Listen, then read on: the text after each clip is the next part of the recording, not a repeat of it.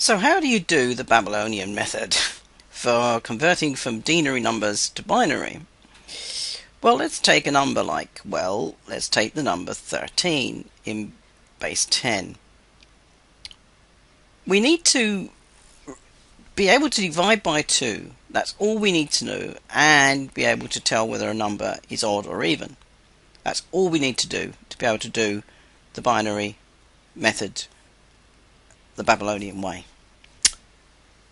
Well, what we do is we draw a little grid and we ask these questions of the numbers.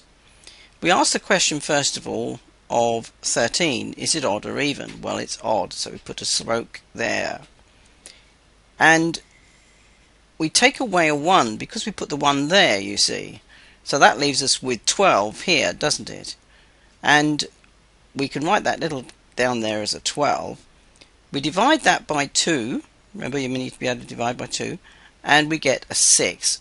And we write that in there. Now, 6 is even. So put a 0 there. There's no need to take, well, we can take that away from 6, but we're left with 6.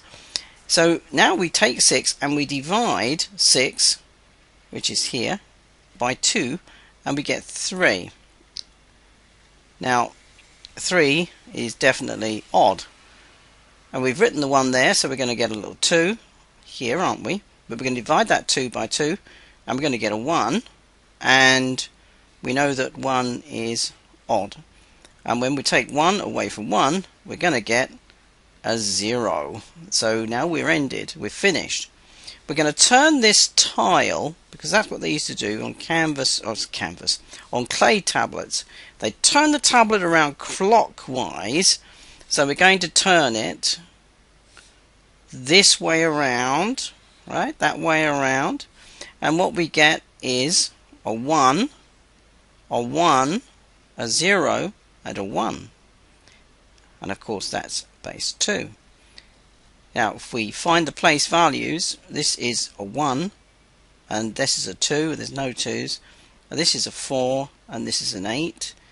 8 plus 4 plus 1 is 12 plus 1, which is indeed 13. So we now know that 13 base 10 is the same as 1101 base 2. And the amazing thing is this works for really large numbers too.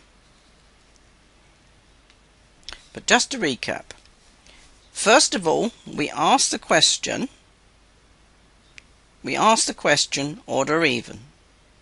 And the answer here was odd. So the very first thing is one odd or even is the question.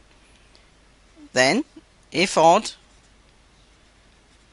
we subtract 1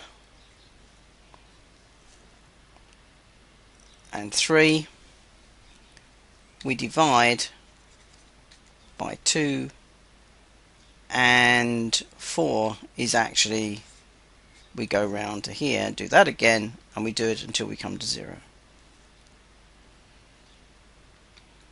Now believe it or not there's actually another way of doing this and uh, I'll just show you what that is quickly. So we just bring down the calculator we put in 13 and we ask for binary and we um, get the answer of 1101. That's a lot quicker, but not so easy to esoteric.